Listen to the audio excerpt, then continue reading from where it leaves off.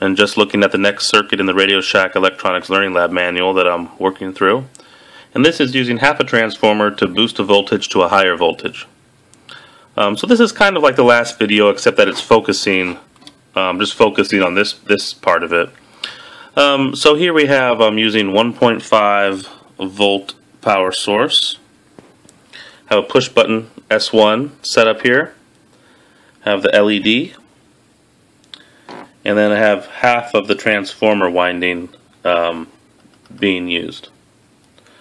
So these LEDs require more than 1.5 volts to emit light. So I'm going to turn the unit on. I'm going to focus, zoom in and focus on this LED. Now I'm going to press S1. Nothing happens. When I release it, the LED should uh, emit light. There we go.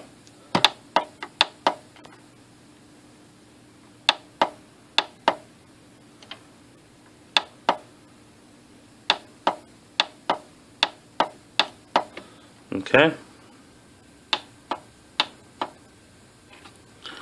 Okay, so there you have it. Not super exciting, um, but just showing that um, when the transformer's coil collapses, that's enough. The voltage is enough. The increase in voltage is enough to make the LED emit light. Alright, thanks for watching, and I'll see you next video. Bye-bye.